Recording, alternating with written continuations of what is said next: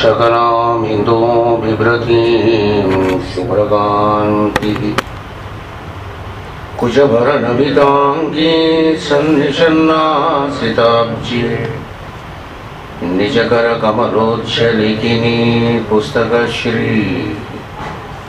सकलविभवसिद्धे पदुवग्देवतानम्। करुणां करुणातरङ्गिराक्षीं धृतपाशाङ्कुशपुष्पबाण शापहस्ताम् अणिमादिविरावृतामयोगैरहमिच्छेव विभावये भवानीम् ध्यायेत् पद्मासनस्तां विकसितवदनां पद्मभद्राय दाक्षीम् हेमाभां पीतवस्त्रां करकलचलसद्देमपद्माम्बराङ्गीम् सर्वालङ्कारयुक्तां सकलमवेदां भक्तनम्रां भवानी। श्रीविद्यां शान्तमूर्तिं सकलसुरनुतां सर्वसम्पत्पदात्रीं श्रीमात्रे नमः।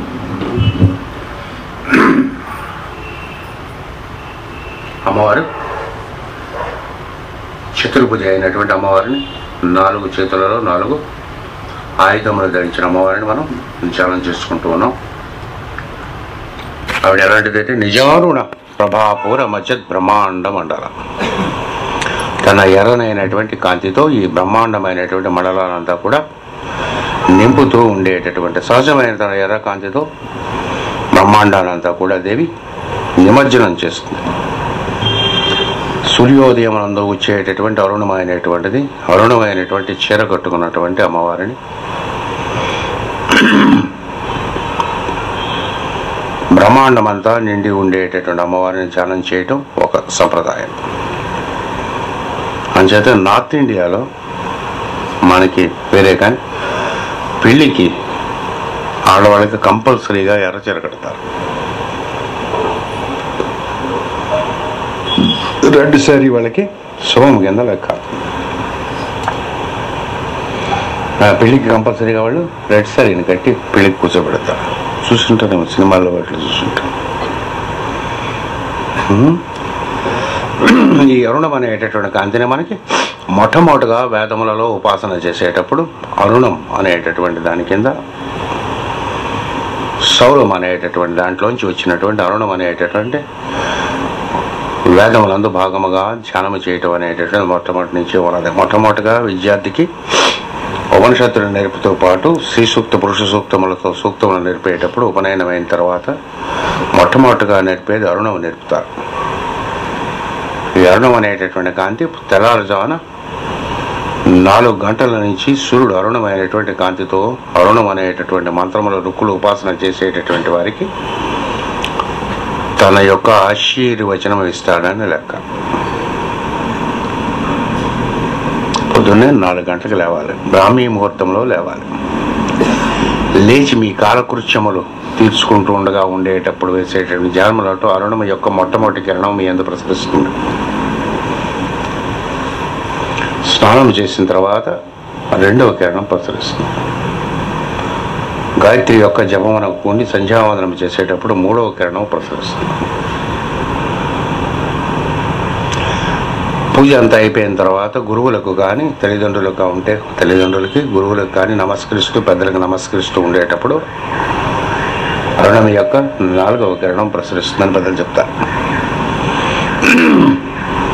ఈ అరుణం అనేట ఉపాసన చేసేటటువంటి వాడు నాలుగు గంటలకు లేవాలి.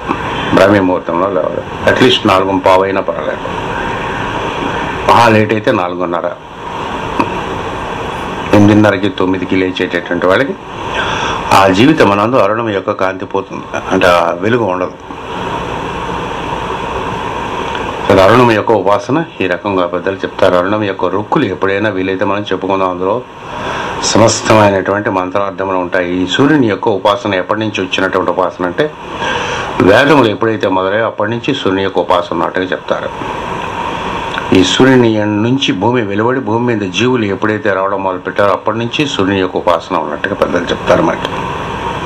ప్రపంచంలో ఉండే ఏ జాతి అయినా సరే మొట్టమొదటి కానీ ఇప్పుడు కానీ ఉపాసన చేసేది సూర్యుడిని మొట్టమొదటగా ఇబిజ్ అనేటటువంటి దేవాలయం కట్టినప్పుడు సౌత్ ఆఫ్రికాలో మొట్టమొదటిగా ఒక ఆశ్రమం పెట్టారు. కొన్ని కోట్ల సంవత్సరముల క్రితం. అంటే మనకి హిమాలయాల్లో ఆశ్రమం పెట్టక పూర్వం మొట్టగా మానవ జాతి పుడుతుండేటువంటి రోజుల్లో. వారి యొక్క అనుయాయులుగానే మాయా అనేటటువంటి ఒక జాతి వచ్చినట్టుగా ఆ జాతి ఇప్పుడు ఏమిటి చేసింది అనేటటువంటిది మనకి హిస్టరీలో ఉండదు. అందరూ పరమమైనటువంటి దేహములు తీసుకుని ఆ వెలుగు అయినటువంటి కాంతి అయినటువంటి దేహములతో ఈ ప్రపంచం అంతా తిరుగుతూ ఉంటారని పెద్దలు చెప్తారు. వారు మొట్టమొదటిగా ఉపదేశం చేసినటువంటిది సూర్యుని యొక్క ఉపాసన.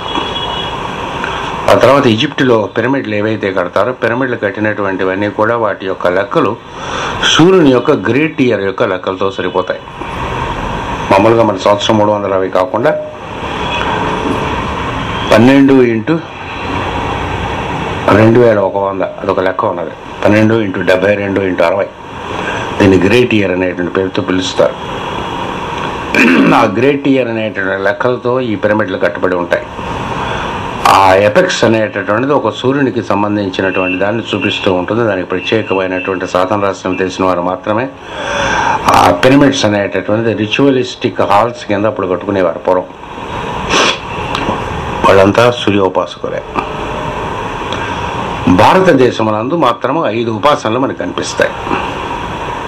ఒకటి విష్ణు ఉపాసన మన విష్ణు వైష్ణవులు అంటారు. శివుని ఉపాసన చేసేవాళ్ళు శైవులు అంటారు. గణపత్యులు అంటే గణపతి ఉపాసన చేసేవాళ్ళు గణపత్యులు అంటారు.